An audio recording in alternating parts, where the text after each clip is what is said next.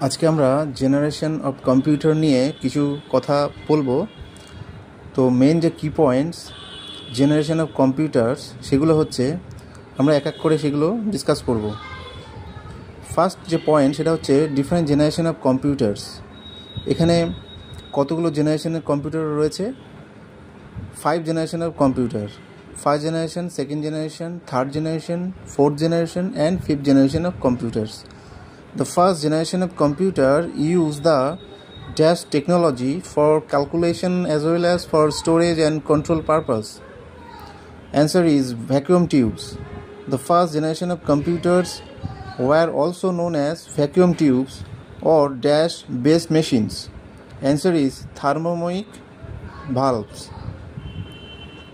A dash is made of a glass and contains filaments inside it. Answer is vacuum tube. Example of first generation computers are ENIAC, EDVAC, EDSAC, UNIVAC.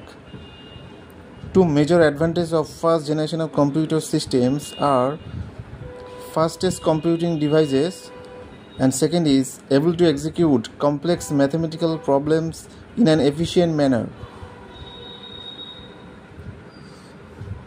A dash is a language is in which all the values are represented in the forms of zeros and ones. Correct answer is machine language. The main characteristics of second generation computer was the use of dash in place of vacuum tubes in building the basic of logic circuits. Answer is transistors. The transistor was invented by Shockley Brattain and Bardeen in 1947 for which they won the Nobel Prize.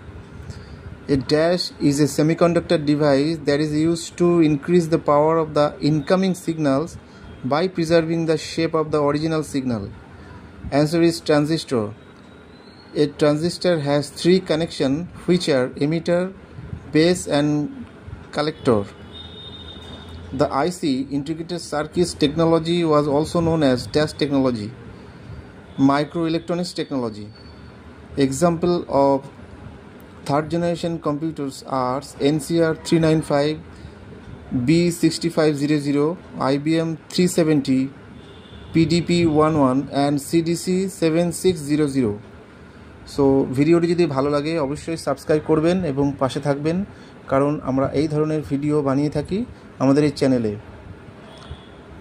তো thank you ভালো থাকবেন